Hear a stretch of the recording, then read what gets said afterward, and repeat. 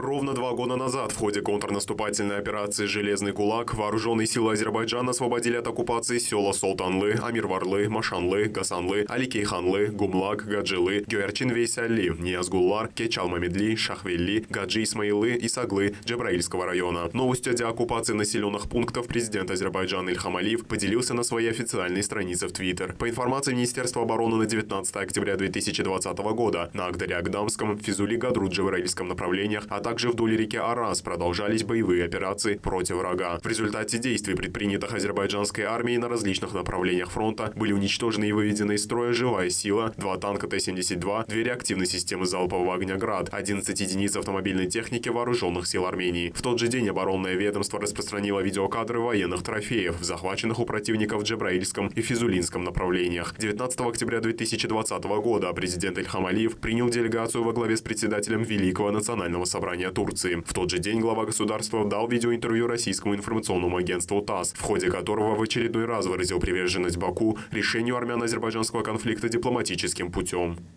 Мы привержены э, тем обязательствам, которые берем себя в рамках э, наших контактов с нашими партнерами. И с самого начала и в процессе переговоров по урегулированию конфликта мы всегда опирались и на международное право, э, на нашу приверженность решению конфликта мирным путем, и в том числе э, те обязательства, которые Азербайджан на себя взял после переговоров в Москве, э, мы стремились и собирались их выполнять.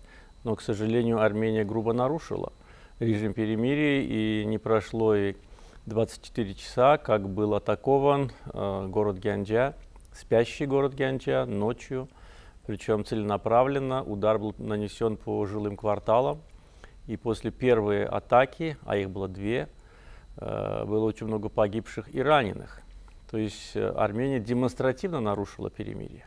И тем самым она проявила неуважение к посредникам, неуважение к своим обязательствам, которые взяла э, после таких длительных переговоров в Москве.